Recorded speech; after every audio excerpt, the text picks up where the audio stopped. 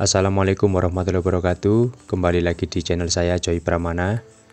Di video saya kali ini Saya akan membagikan tutorial Bagaimana cara menguras air radiator ini ya kawan. Ini sudah terlihat jelas ya Sangat kotor ya kawan. Oke langsung saja kita Buka penutup keran yang ada di bawah ini ya kawan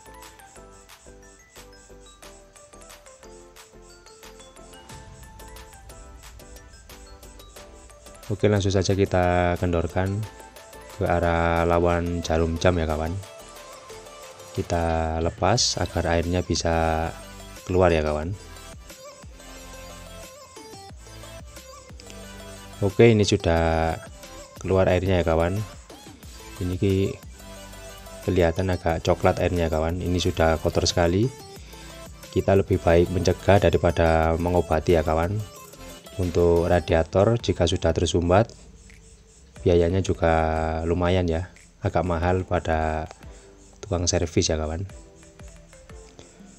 Oke kita tunggu sampai airnya sudah benar-benar habis ya. Setelah itu langsung saja kita siapkan air keran ya kawan yang mengalir bersih seperti ini ya. Kita bilas agar kotorannya semuanya sudah bisa keluar ya. Kita lakukan cara ini berulang-ulang ya kawan agar bisa benar-benar bersih ya yang ada di dalam radiator ini ya. Agar kotoran semuanya bisa keluar ya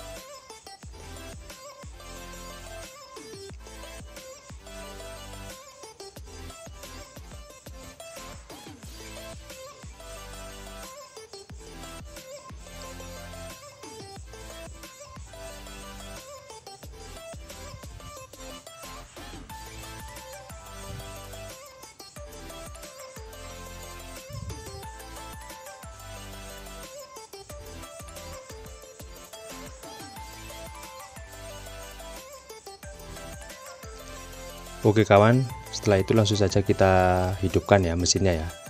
Agar kotoran yang ada di dalam silinder kop atau di dalam water pump bisa keluar ya kawan. Ini posisi mesin sudah saya hidupkan sambil kita aliri air agar tidak panas ya kawan. Pesan dari saya air jangan sampai mati ya. Airnya harus terus mengalir ya kawan. Kalau tidak nanti bisa panas ya yang ada di dalam silinder kop ya.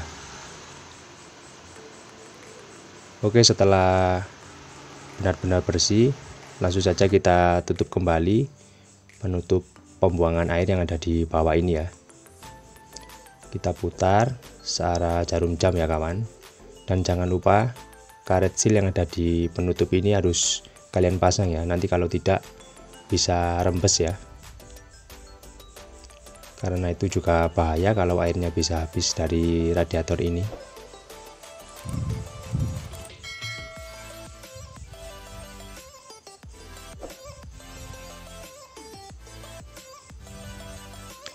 Oke setelah benar-benar rapat langsung saja kita isi air ya kawan. Saya pribadi menggunakan air karan biasa ya kawan. Saya tidak menggunakan air coolant untuk penjelasan tidak menggunakan air cooler nanti akan saya jelaskan pada video selanjutnya ya kawan. Ini kita isi dulu menggunakan air keran biasa. Kita isi sampai dengan penuh ya kawan. Harus benar-benar air bersih ya kawan karena ini kalau airnya kotor khawatir nanti akan menyumbat pada kisi-kisi yang ada di radiator mobil ini ya. Oke ini sudah penuh ya kawan. Langsung saja kita hidupkan dulu mesin mobilnya. Oke dan ini sudah hidup ya kawan. Langsung saja kita lihat kembali di dalam radiator ini ya. Ini air yang ada di dalam radiator ini otomatis langsung bersirkulasi ya kawan. Karena termostat yang ada di mobil ini sudah saya lepas. Jadi tidak usah menunggu mesin panas ya kawan. Ini air langsung bersirkulasi ya. Ini sudah terlihat. Airnya sudah bersih yang ada di dalam radiator ini.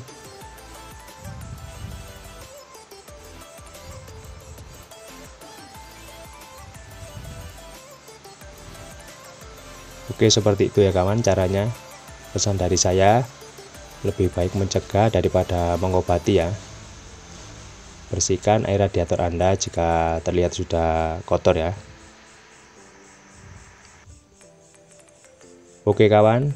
Sekian video dari saya. Jika konten ini bermanfaat jangan lupa like, komen, dan subscribe